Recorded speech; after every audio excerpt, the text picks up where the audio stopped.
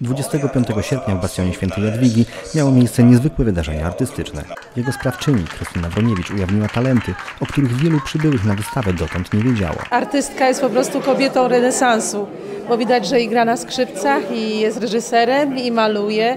No taki niespotykany talent. No i sama w sobie to jest osoba taka wyjątkowa.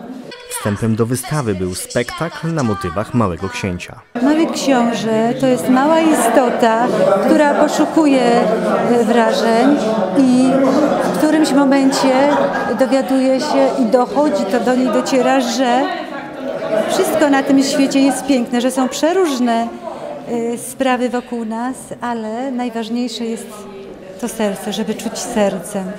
Jak zwykle, tak i tym razem, sztuka według reżyser muzycznego teatru młodzieżowego działającego przy Nyskim Domu Kultury okazała się bajeczną podróżą w krainę fantazji. Żałuję, że mojej wnuczki tutaj nie ma, która jest 300 km poza Nysą, bo naprawdę e, ciekawa inscenizacja. Inscenizacja tym bardziej niezwykła, że oscylująca wokół najistotniejszych wartości moralnych. Krystyna jest osobą jedyną, niepowtarzalną.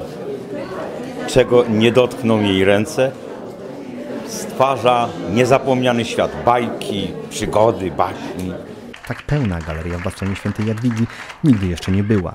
Choć Krystyna Wroniewicz za profesjonalną malarkę się nie uważa, przybyli goście nie szczędzili słów uznania dla jej prac. Są same ciepłe kolory, e, pełne barw, pełen barw świat, który e, zauważa bardzo wnikliwie. Do księgi pamiątkowej ustawiła się długa kolejka, tak samo jak do pani Krystyny Wroniewicz po dedykację w książce jej autorstwa pod tytułem Słowem i pędzlem. Zbiorek jest poetycko-malarską opowieścią o pięknie życia.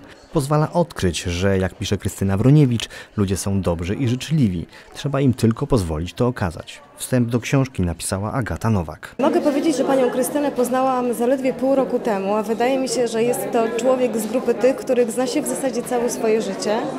Jest e, osobą bardzo otwartą e, na innych ludzi, na ich potrzeby. Myślę, że to widać w jej twórczości, w każdym pociągnięciu pętla, w każdym wierszu, w każdym teatrze, w sztuce, którą wystawia. Zbiorek można nabyć w Bastionie Świętej Jadwigi. Wystawa prac potrwa do 19 września.